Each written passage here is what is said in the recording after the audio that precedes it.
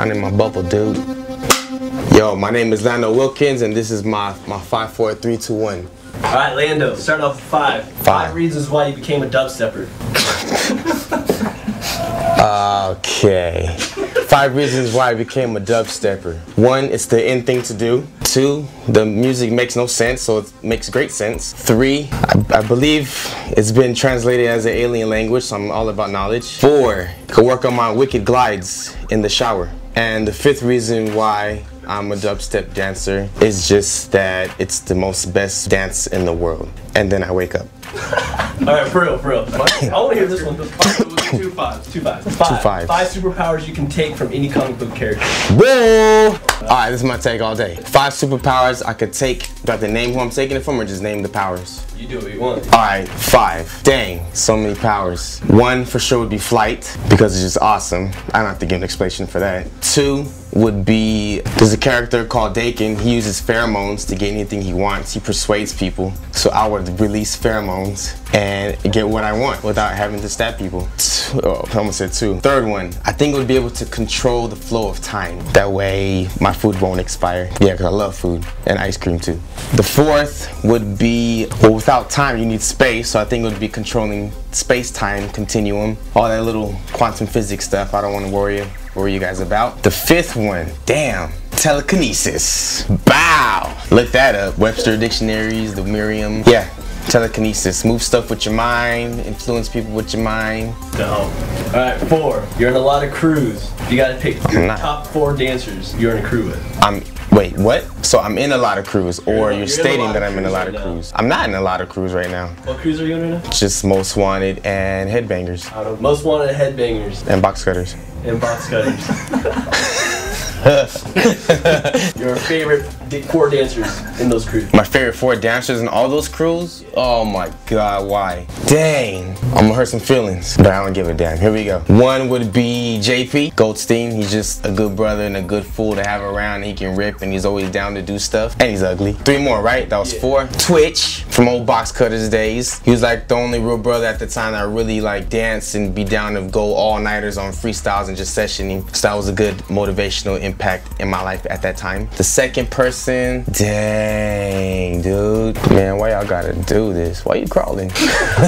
this is, I never seen Nelson crawl. This is awkward. Damn, two more. It shouldn't be this hard. Cause Box Gang goes deep. They go deep. Man, I'll say it. Brian Puspos, uh, it's good to watch to see where he came from before and see how he is now. And he just he's down to rip too and freestyle. People don't really know about that, so I appreciate that. And he's another fool to have around, just opposite of JP. So that's where I get my abs from. From laughter. Dang, the last one. Man, F it. I'm the best member at, at all. I'm a different person in each crew, so it's like I enjoy who I am around those people. There we go. Done. Dylan, Dylan, and Dylan. Three. What are your top three moments in dance? Why is this all dance related? Top three moments in dance?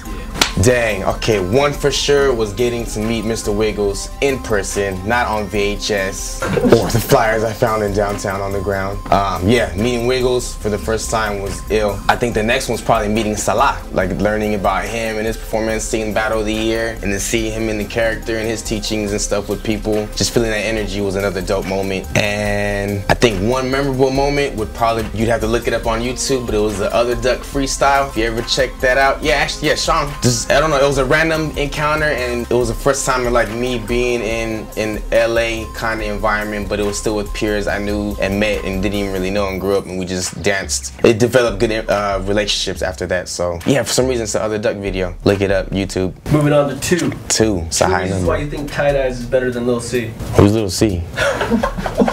Little C? Oh, snap. Hold on. Start over. I had to think for a second. Let me uh, put on my glasses so I can hear these questions right. My senses are a little off because of medication. All right, got it. Little C. My bad. I had to think about it. Two reasons why tie dyes is better than Little C. Y'all for real with this? It's gonna be pretty easy. Uh, one, I don't, I don't think I really saw much of Little C to compare to tie dyes. So, and the second reason would probably be the same. I don't know much of Little C to know. I don't know. That's a tough question. I need another two. Another two. Yeah, that's a hard one because I really don't know. Two reasons why you're so hairy. okay, two reasons why. Really? Because I got them. Go. One reason is because it's part of my Mexican heritage and we grow fur. And the second reason is that I've been traveling in a lot of cold weathers and uh, that causes hair growth, which ET is. Show is me how on your back. nah, there's, there's not many people s- seen my backside since prison. So we'll leave it at that. Alright, last one, Lando. Really? Those two questions? That's the number two? No, no, no. Man, that's horrible. Y'all We horrible. got more questions. We got more. One.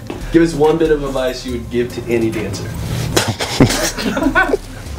One advice would be to quit. No. There's too many y'all bastards. we need to keep it down some. Because people are getting too confused on what, what dance is and all these made up styles, like my favorite style, dubstep. Yeah, just quit now. Because uh, if y'all, don't know, the zombie apocalypse is coming soon. They made a movie about it, and Superman comes and destroys them all. I'm just gonna throw out some bonus questions real quick. Bonus questions. PlayStation 4 or Xbox One?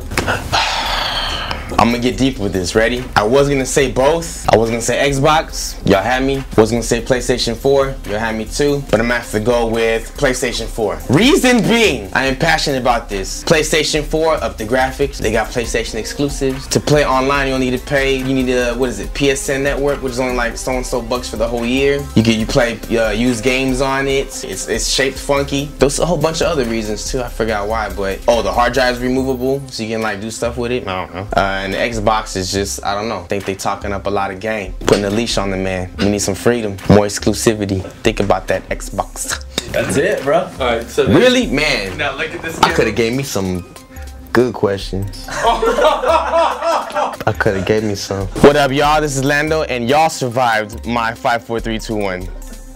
Two fingers.